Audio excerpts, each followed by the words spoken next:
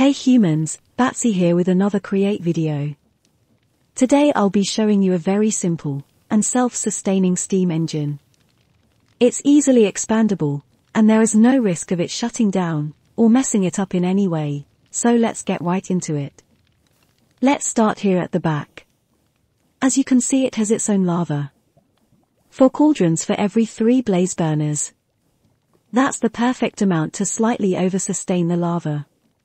We're still going to use a little tank to make it more stable. Next we have a small windmill, this is to power up the water pumps and prevent the system from turning off. With this windmill, and the idle burners, the system has enough power to sustain itself, thus making it impossible to turn off on its own.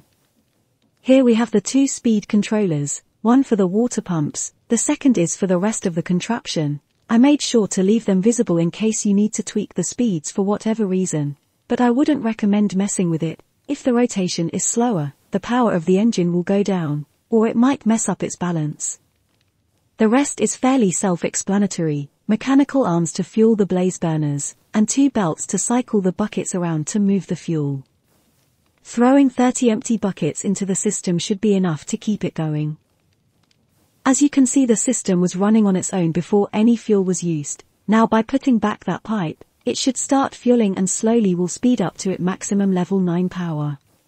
As always I'm gonna be leaving the schematic in the description below, and a step by step of how to use and so on, but feel free to ask in the comments if there are any doubts. Thanks a lot for watching, I hope you enjoy this schematic, and don't forget to subscribe for more, it would mean the world to me.